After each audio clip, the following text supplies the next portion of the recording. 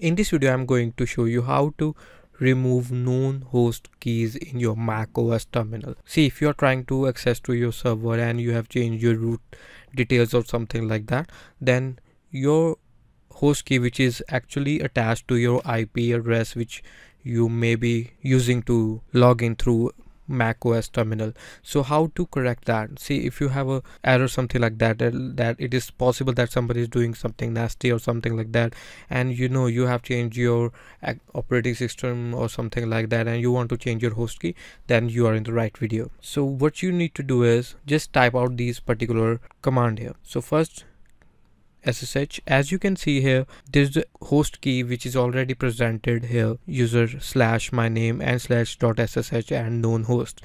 The thing is I've been trying to access to my root server but the host key for that particular root server as you can see the IP of that root server is already there. So to connect to our my new details of my server i need to delete the old host keys. Okay. So how you can do that? You can do that easily with this command ssh.keygen sorry hyphen keygen and then r.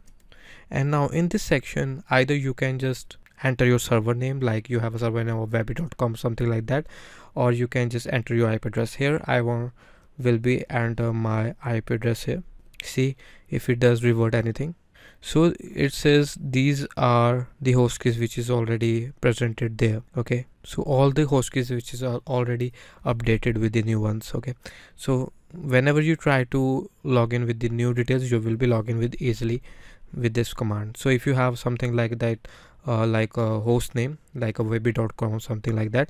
You can easily do it with the ssh keygen slash r or hyphen r or however you want to pronounce. And you just need to enter your server name there okay? So let's see if i'm able to log into my server. So yes. So as you can see it is actually giving me an authorization and asking me to confirm if they want to or if I want to register a new hostname so I just type it the yes here. So it will ask for the password.